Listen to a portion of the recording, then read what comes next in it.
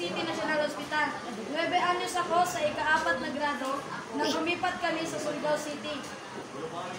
Sa ikalima kong grado, nung, nung naging biktima ako ng bullying, palagi akong binubugbog sa, sa kadahilanan dayo ako.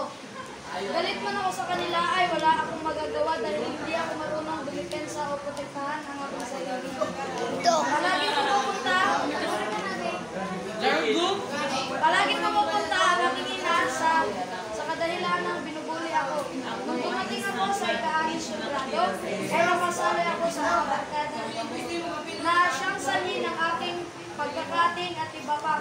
Isang araw ay nahuli kami ng aming science teacher na nagkakating. Isinumbong ako at pinag-guidance. Isinumbong ako at pinag-guidance. Pag-uwi namin ay nagalitan ako ng aking magulang. Dahil doon, dahil doon, ah, na din. Nag, nagsimula na ang COVID-19, wala akong magawa sa bahay, ngunit dumating ang module. Sa simula ay naisip ko ito ay magandang ideya. Maritiso. Matapos ang dalawang taon o tatlo, ay binalita na magkakaroon ng limited face-to-face. Agad akong natuwa at pumunta sa aking ina.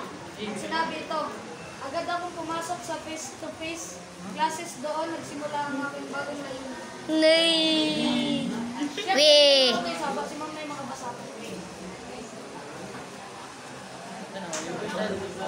Ang aking layunin ang nagdala sa akin ngayon dito sa inyong harapan, gumagawa ng kwento. We, di nga. Okay, ma'am, oh? Okay. Ilyar. Ako ay isa. Tsaka Bob. Babo ka? Babo ka? Alang-alang sa grado. Jawa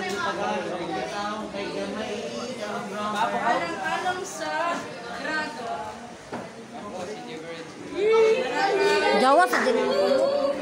Ay, kay ko na ni sa YouTube. Cellphone ra gisa.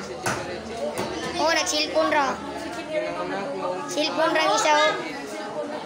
sa lungsod ng Surigao City. Ang isa nagmaritis. Pinabigay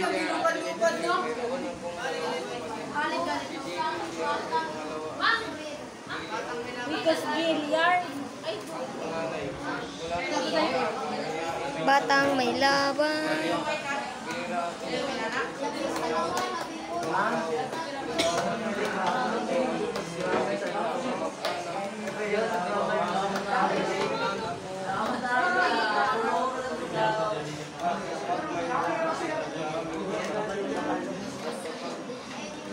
besar bahasa.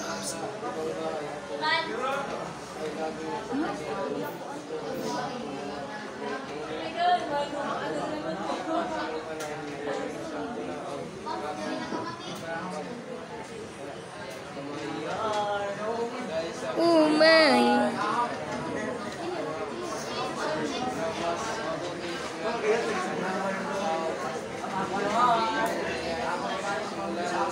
Thank you.